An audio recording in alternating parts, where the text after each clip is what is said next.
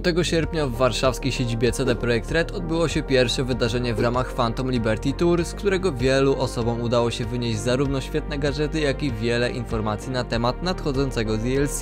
Ja jestem Jaro i zapraszam Was na odcinek z newsami odnośnie Phantom Liberty.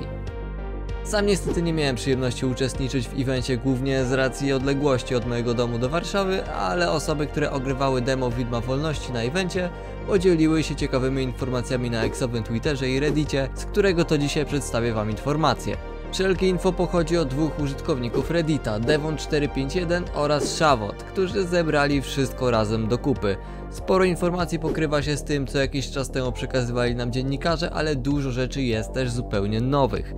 Zacznijmy najpierw od wiadomości od Devona 451. Po pierwsze, faktycznie podczas montowania wszczepów będzie się odpalać krótka cutscenka, w której po zobaczeniu wszczepów w menu V wstaje z fotela obolały i przyzwyczajający się do nowego sprzętu. Nie będzie to zatem tak rozbudowane jak przy pierwszej wizycie u Wiktora, ale będzie to z pewnością fajne urozmaicenie.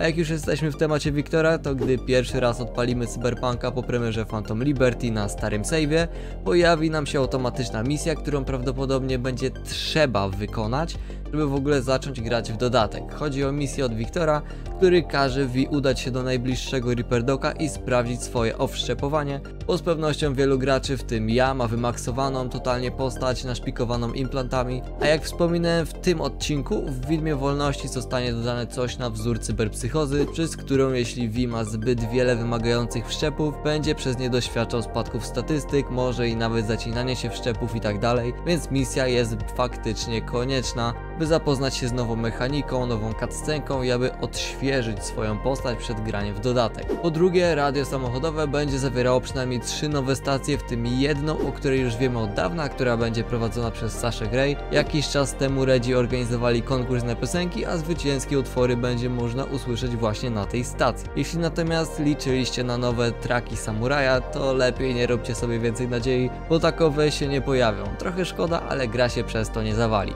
Jeśli chodzi o nowe opcje kustomizacji postaci, to nie było żadnych zmian w demie ogrywanym na Phantom Liberty Tour w Warszawie, ale nie wiem czy o tym wspominałem, yy, ale demo było oparte na buildzie z marca, więc sporo rzeczy mogło się zmienić. Mogą dodać jakieś parę nowych fryzur, jakichś opcji, ale na pewno nie będzie tego dużo. Nie uświadczymy też kustomizacji pojazdów, o którą wiele osób prosiło, niestety nie będzie można zmienić nawet koloru auta czy motocykla, ale za to pojazdów ma być więcej, to znaczy więcej rodzajów, więc może to jakoś załatwi sprawę, jeśli chodzi o różnorodność. Pozostając przy autach, to zmieni się też system ich kupowania. Od teraz samochody i motocykle będzie można kupować przez stronę internetową na wzór sklepów z GTA 5 i tak naprawdę z jednego z modów, który wprowadzał stronę sklepu samochodowego na komputerze Wii i z tego poziomu można było wybierać przyszły nabytek. Jeśli liczyliście też na nowe sceny i questy z Panam, Judy, Kerem i Riverem, to również możecie się zawieść, bo takowe nie będą miały miejsca, ale pewnie zostaną dodane chociaż nowe holokole w napisach końcowych, które odpalą się przy nowym albo nowych zakończeniach, nawiązujące tematycznie do decyzji V, tak jak jest to obecnie w przypadku różnych decyzji w questach i zakończeniach. Ale żeby nie było, że relacje z bohaterami zostały nietknięte, to na Q&A Redzi powiedzieli, że gracze mogą się spodziewać jedynie nowych, krótkich interakcji przypominających te z wiedźmińskiego dodatku Krew i Wino. Faktycznie było coś takiego w Wiedźminie. Po zakończeniu fabuły do winnicy Gralta przychodziła Yennefer lub Tris, zależnie od naszego wyboru, lub Jaskier czy Ciri, z którymi można było chwilę pogadać. No i ma być też kilka nowych wiadomości SMS wysyłanych graczowi przez Panam, Judy, Kerego i Rivera, ale tego raczej wszyscy się spodziewali, bo w jednej z aktualizacji kilka zostało już dodanych, więc i teraz fajnie będzie zobaczyć kilka kolejnych. A będąc w temacie telefonów i wiadomości SMS, to interfejs telefonu kompletnie się zmieni i całe szczęście, bo przynajmniej dla mnie był strasznie nieintuicyjny i męczący. Od teraz wiadomości mają wyświetlać się w lewym dolnym rogu ekranu i nie ma być pokazywany jedynie ich fragment, a mają się scrollować po ekranie. W menu dane telefonu mają być podzielone na trzy kategorie. Ostatnie kontakty, wiadomości i wszystkie kontakty. No i co najważniejsze, wszystko będzie posortowane alfabetycznie. Miałem już dość szukania wiadomości od Reginy, której nie zdążyłem odczytać pomiędzy jakimiś totalnie losowymi postaciami. Wspomniałem już o interfejsie telefonu, to przejdę teraz do HADA, bo ten również przeszedł sporo zmian. Ponoć jest bardziej przejrzysty, ale co najważniejsze HUD to jest pasek zdrowia, ikonki samochodu, telefonu, granatów, leczenia, mapa i tak będzie znikać między innymi, gdy rozmawiamy z jakąś postacią. Fajne, bo nieraz mnie to denerwowało, że podczas konwersacji z jakąś postacią dookoła ekranu wciąż było multum rzeczy, które w tamtym momencie wcale nie były potrzebne. Jak wiadomo w Phantom Liberty dojdzie nam nowy obszar do eksploracji, Dogtown, rządzone żelazną ręką przez Kurta Hansena i to tam będzie się działa fabuła dodatku. O czym jednak Redzie nie wspominali to rozszerzenie też pozostałej części mapy. Przez Badlandy będziemy mogli się przejechać nowymi drogami, a niedostępne do tej pory centrum kosmiczne Orbital Air zostanie wreszcie udostępnione do zwiedzania. Ale czy na pewno tylko do zwiedzania? W jednym z odcinków wspominałem już o teorii, według której w dodatku będziemy musieli udać się z Solomonem Reedem lub Songbird do Crystal Palace, który znajduje się na orbicie planety. Wiele osób jest sceptycznych co do tej teorii i mówi, że scena ze zwiastuna to po prostu wnętrze kasyna w Dogtown i pewnie mają rację, ale teoria z Crystal Palace i odblokowanie lokacji ze stacją wylotu statków kosmicznych powoli zaczyna się łączyć.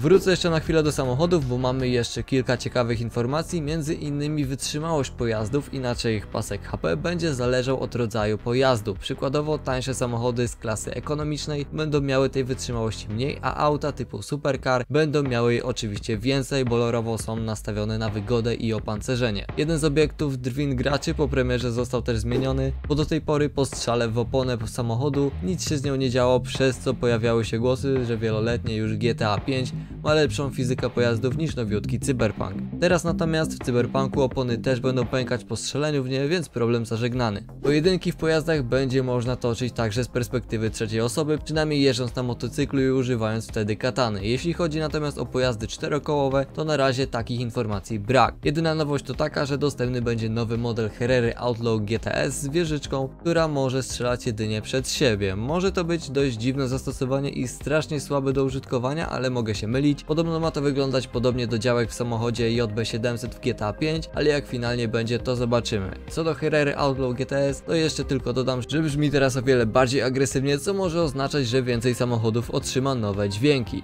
Zmiany dosięgły też systemu hakowania i ogromnie się z tego cieszę, bo obecnie w grze hakowanie jest strasznie OP, ale mało realistyczne zarówno ze strony gracza, jak i przeciwników. Po pierwsze, wrodzy netranerzy nie będą już jedynie próbować przegrzewać Wii, a będą sięgać po różne haki, jak na przykład awaria wszczepów i awaria broni. Wszystkie haki będą teraz podzielone na dwie kategorie, takie, które pozwalają przeciwnikom wykryć Wii oraz te niezauważalne w sieci. Gdy użyjemy tego pierwszego, przeciwni netranerzy zostaną powiadomieni o włamaniu do sieci, a na naszym ekranie pojawi się ładujący się pasek, który pokazuje jak blisko wrogowie są do znalezienia nas przez sieć. Każdy kolejny hak z tej kategorii przyspiesza ładowanie paska, więc trzeba będzie hakować z głową. Dodane zostało też kolejne usprawnienie, a mianowicie to, że można teraz zakolejkować haki i nie musieć czekać z kliknięciem następnego dopiero gdy wgra się ten pierwszy. W sesji Q&A Redzi wspomnieli też, że od teraz hakowanie będzie możliwe również poprzez monostrunę, jednak nie mamy potwierdzenia na jakiej zasadzie będzie to działać. Jedni mówią, że haki będą się wgrywać podczas zwyczajnych ataków monostruną, a drudzy, że MonoWire będzie działać tak jak na pierwszym gameplayu z 2018 roku. Pora na drzewko relika, bo wreszcie mamy o nim trochę informacji. Szczerze to trochę się zawiodłem po pierwszych informacjach, no chyba, że jest to napisane jedynie bardzo skrótowo.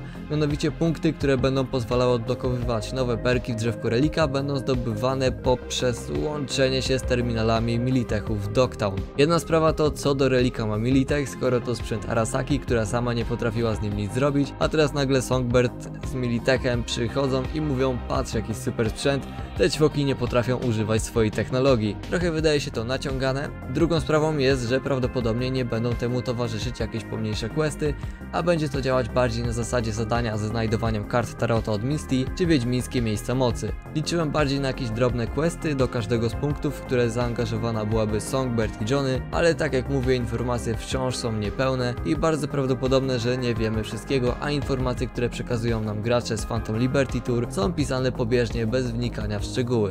Ja wierzę, że Redzi faktycznie dobrze wytłumaczą fabularnie drzewko relika i wszystko będzie się trzymało kupy. Na jednym z pokazów Redów omawiane było właśnie to drzewko, z czego mamy jeden screen, co prawda nie jest ani po angielsku, ani po polsku, a po francusku. Jeden z użytkowników Twittera, Varian, w odpowiedzi na tweet youtubera Neon Arcade podesłał przetłumaczoną wersję opisu perka z gry. Wychodzi z tego, że gdy perk będzie odblokowany podczas walki na przeciwnikach, pojawiać się będą małe ikonki symbolizujące ich słabe punkty i jeśli w je trafi, to otrzymamy 100% szans, że ten strzał będzie trafieniem krytycznym i dodatkowo otrzymamy 25% bonusu do przebicia pancerza. A jeśli zadamy w to miejsce wystarczającą ilość obrażeń, miejsce eksploduje wywołując impuls EMP zadający damage wszystkim w obszarze kilku metrów. W ogóle całe drzewko relika z tego co widzimy na screenach bardzo przypomina drzewko mutacji z Wiedźmina III i nie ma się co dziwić, że Redzi inspirują się swoją poprzednią grą, bo akurat mutacje z krwi i wina były świetnym dodatkiem i cieszę się, że perki relika będą działać na podobnej zasadzie. Potwierdziła się też informacja o możliwości zresetowania całego buildu do zera. Obecnie możemy zresetować jedynie wykupione perki, ale wszystkie punkty wydane w opanowanie, refleks, budowę ciała, zdolności techniczne i inteligencję pozostają bez zmian. Po premierze Phantom Liberty będzie można wyzerować dosłownie wszystko i kompletnie przebudować swoją postać. To jest genialne z racji, że całe drzewko umiejętności zostanie przebudowane. Nowych zdolności drzewka umiejętności wiemy jedynie, że albo levelowanie jednego z sześciu drzewek atrybutów, albo któryś z perków będzie umożliwiał zamontowanie większej ilości wszczepów bez potrzeby obawiania się o nieprzyjemne efekty i spadki statystyk. Z informacji przekazanych nam przez kolejną osobę, Szawoda, wiemy, że do gry zostanie dodane wiele nowych ubrań oraz, że od teraz by zmienić swój strój, ten z garderoby. Nie będzie trzeba się udawać co chwilę do mieszkania V, a będzie można go zmienić w każdym sklepie z ubraniami. Od premiery dodatku ubrania nie będą już dawały żadnego armora, bo zastąpione zostanie to armorem ze wszczepów, ale niektóre elementy garderoby wciąż mogą dawać konkretne bonusy Jeśli chodzi natomiast o kwestie gameplayowe, to przeciwnicy wydają się bardziej żywi i mają nowe animacje ataków. Potwierdzone zostały też informacje o zmianie systemu leczenia. Nie będziemy mieli już masy inhalatorów do spamowania, a będziemy mogli używać jedynie stałych na cooldownie. Jednak jak wspomina Szawot, nie było to dla niego żadne utrudnienie w demie, choć grał na poziomie normalnym i zakłada, że na wyższych poziomach faktycznie może się okazać, że inhalatorów trzeba używać o wiele rozsądniej. Samo Dogtown też robi wrażenie. Choć na mapie wydaje się niewielkim obszarem, to tak jak wspominał Keanu Reeves na jednym z wywiadów, ma wiele warstw i poziomów, dzięki czemu w całej dzielnicy udało się upchnąć naprawdę wiele kontentu. Do kupienia ma być również nowy samochód, który ma symbolizować właśnie ścisk i domy z kontenerów stojące jeden na drugim. Ma wyglądać jak dwa samochody ułożone jeden na drugim, działające jako jedna maszyna. Czarny market widzieliśmy już na gameplayu, ale według Szawoda jest tam też bardzo głośno. Tyle można usłyszeć wiele rozmów i scenek. Najśmieszniejsze jest to, że gra jeszcze nie wyszła, a gracze już w demie znaleźli easter eggi, o których nie będę wspominał, by nie psuć zabawy. System policji w Dogtown jest też czymś nowym, zapewne zwykła policja w Night City będzie działać identycznie, ale z samych opisów wydaje się być po prostu świetna. Po strzeleniu do funkcjonariusza i posiadaniu dwóch gwiazdek przestępstwa, gracza zaczyna gonić milicja w samochodach, próbująca zepchnąć go z drogi lub chociaż ją zablokować, nieustannie przy tym strzelając do gracza, który może odwdzięczyć się oczywiście tym samym dzięki możliwości strzelania podczas jazdy pojazdem. Co zauważył Szawot, to że gdy uciekł przed policją do miejsca, gdzie rozpoczynał się jego quest, pościg natychmiast się zakończył, co mogło być zastosowane na potrzeby dema,